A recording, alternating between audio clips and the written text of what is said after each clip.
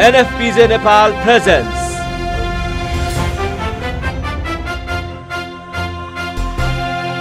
National Photojournalism Award 2022 Season 4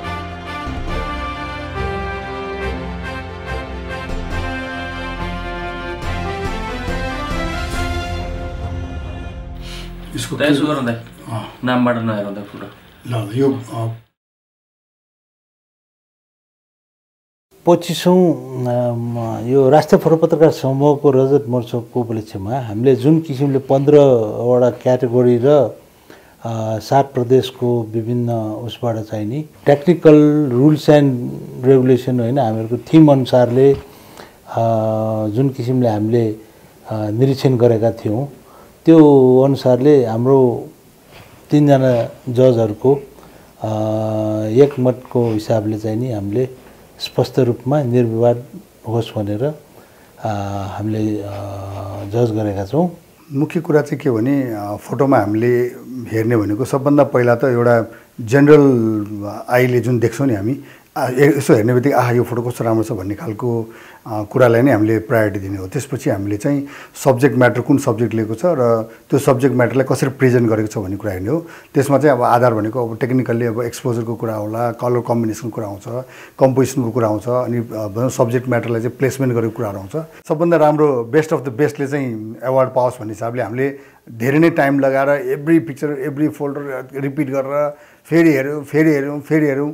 भनौँ अब त्यही फोटोलाई चाहिँ फेरि तिनचोटि चारचोटिसम्म पनि हेऱ्यौँ अ, त्यो गरेर हेर्दा हेरिसकेपछि हामीले कुनै पनि कुरालाई बाँकी राखेको छैन। यो छ नि दाइ यही हो मेरो विचारमा त यो यो दोस्रो फोटो त यसको भयङ्कर पावरफुल छ। यो पनि पाउनु यो हेर्नु न यहाँ।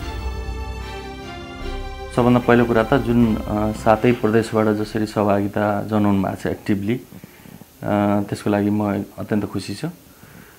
हामीले फोटो हेऱ्यौँ। र तिनजना जजसँगै बसेर फोटो सेलेक्सन गरियो। त्यो हेर्दाखेरि कतिपय फोटोहरूमा चाहिँ हामीलाई कलेक्सन गर्न कतिपय सहभागीहरूकोमा चाहिँ त्यसमा चाहिँ डिसिजन गर्न अलिकति गाह्रो भएको थियो। तैपनि फोटोहरू एकदमै राम्रो छ।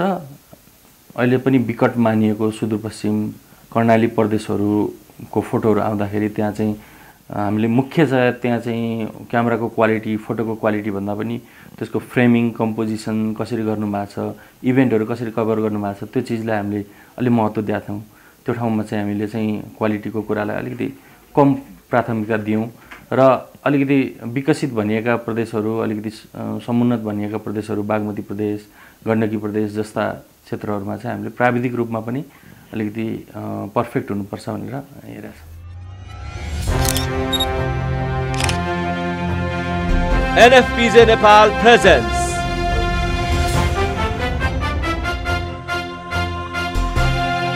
National Photojournalism Award 2022 Season 4